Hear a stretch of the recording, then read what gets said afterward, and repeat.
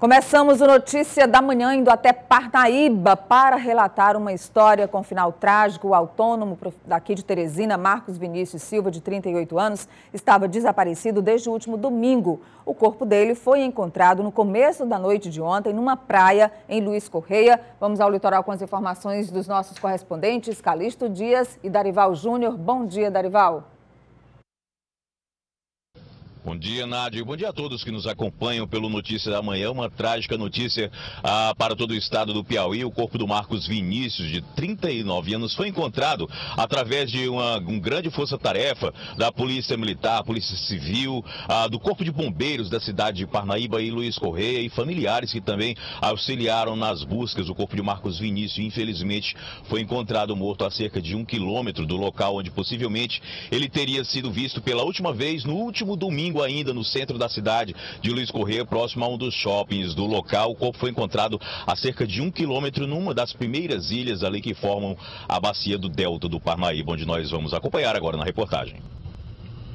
Os trabalhos de busca se estenderam por mais de 40 horas por terra, através da Polícia Militar e familiares, nas águas e também no ar com o auxílio do helicóptero da Polícia Militar.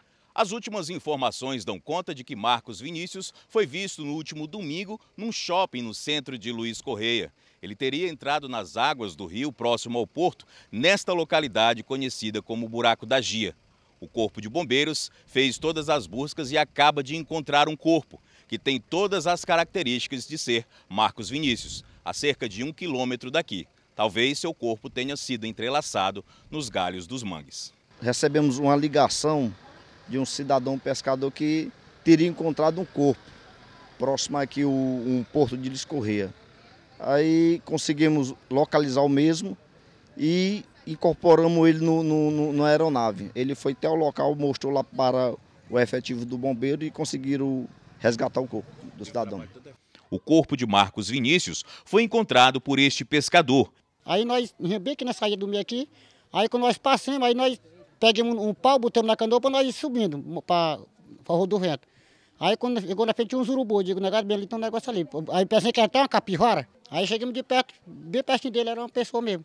O corpo de Marcos Vinícius foi encontrado a um quilômetro do local onde ele teria sido visto pela última vez.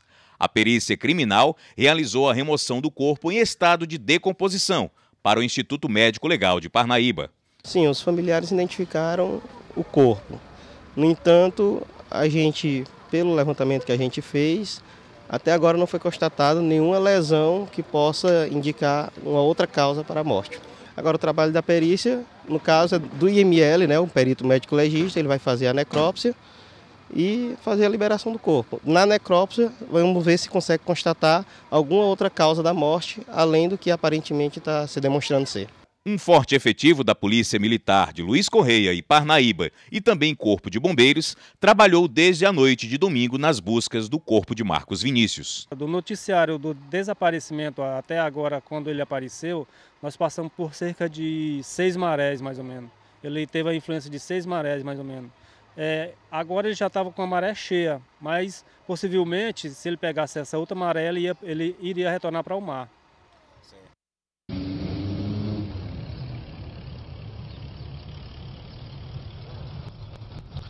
Zé Nádia, após nós acompanharmos a reportagem, vimos que uma grande força-tarefa foi mobilizada no município de Luiz Corrêa desde o último domingo.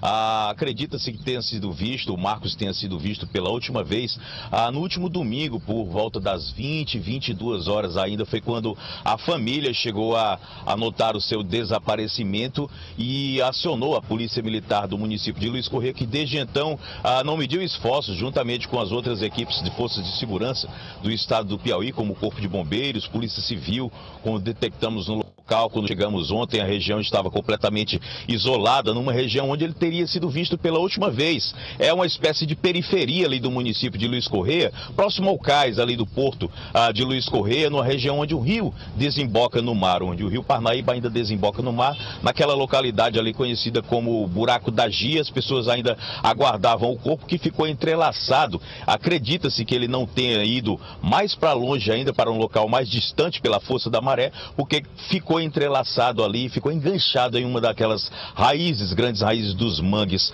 do delta do Parnaíba. Nádia. Pois é, Darival, o corpo já está sendo trazido para Teresina, o rapaz é daqui e o Márcio Vinícius, e ontem à noite os familiares e amigos estavam lá no litoral, já providenciaram o traslado do corpo para Teresina.